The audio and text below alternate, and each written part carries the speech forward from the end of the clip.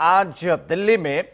Bharatiya Janata party की केंद्र की मोदी सरकार के खिलाफ में कांग्रेस पार्टी रामलीला मैदान में देश बचाओ, भारत बचाओ रैली की शुरुआत करने जा रही है। एक तरफ़, जहाँ पर आज भारतीय जनता पार्टी के बड़े नेता और मंत्री झारखंड में चुनावी सभा कर रहे हैं तो दूसरी तरफ़ सरकार की नीतियों को लेकर के, आर्थिक मंदी को लेकर के अर्थव्यवस्था की गिरती स्थिति को लेकर के कांग्रेस पार्टी सरकार को घेरने की कोशिश दिल्ली के इसी रामलीला मैदान से कर रही है, जिस रामलीला मैदान में कभी अन्ना हजारे ने आंदोलन किया था और उसके बाद में स्थिति क्या हुई थी। मगर कांग्रेस पार्टी अपने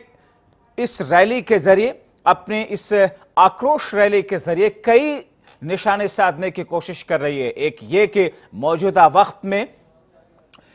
नागरिकता संशोधन बिल पास होने के बाद में जहाँ पर देश के अलग अलग हिस्सों के अंदर इस वक्त अफरा तफरी जैसा माहौल मचा हुआ है, इसी बीच में कांग्रेस सरकार के खिलाफ में आर्थिक मंदी,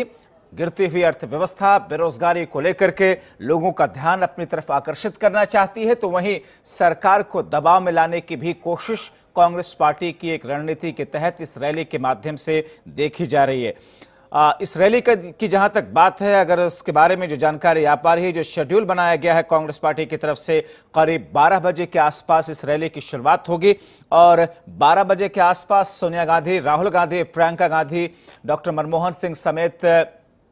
दूसरे सीडब्ल्यूसी की, यानी कि कांग्रेस वर्किंग कमेटी के जो सदस्य हैं, वो होंगे। मंच आप देख रहे हैं, जिसमें कटआउट सोनिया गांधी का आपको दिख रहा है। हालाँकि जो मुख्य मंच है उसके बैकड्रॉप में जो चीज़ें लिखी गई, उसमें किसी की तस्वीर नहीं है। हालाँकि बीच बीच में राहुल गांधी, सोनिया गांधी और प्रियंका गांधी की ये तस्वीरें, जो कि कटआउट की शक्ल में आप देख रहे हैं, कुछ इस अंदाज में इस रामलीला मैदान के अलग अलग हिस्सों में अलग अलग सेक्शन में लगाया गया है। आप देख रहे हैं बड़े पैमाने पर तैयारी भी दिख रही है। यहाँ पर कुर्सियाँ कुछ इस अंदाज में लगाई गई हालाँकि अभी कुर्सियाँ खाली दिख रही है, लेकिन चूँकि वक्त 12 बजे क्या रखा गया है या फिर 12 बजे के बाद का, इसलिए सर्दी के मौसम की वजह से भी लोगों का पहुँचना अभी शुरू नहीं हुआ। इक्का दुक्का लोग अभी यहाँ पर इस रामलीला मैदान पर पहुँचने शुरू हुए हैं। मगर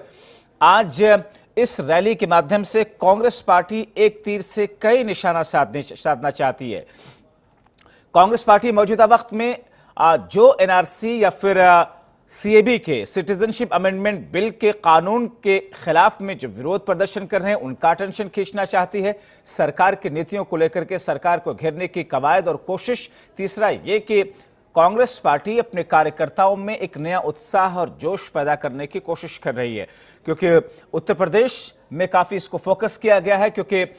इस रैली में शामिल होने के लिए वैसे कांग्रेस पार्टी ने देश के अलग अलग हिस्सों से कांग्रेस के कार्यकर्ताओं को बुलाया तो है, मगर उत्तर प्रदेश से विशेष रूप से लोगों को इसमें शामिल होने के लिए कहा गया है और इसके लिए तमाम विधानसभा क्षेत्रों से उन नेताओं को दो दो सौ कर्मचारियों को लाने की बात कही गई है।